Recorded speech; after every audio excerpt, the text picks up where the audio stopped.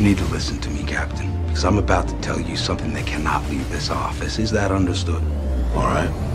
But it better be damn good. My brother and I were born with the ability to see things. Like clairvoyance? We have visions.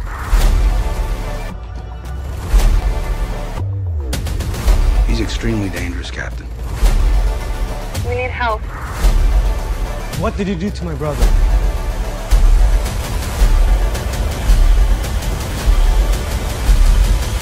It's not a suicide. Bao was murdered.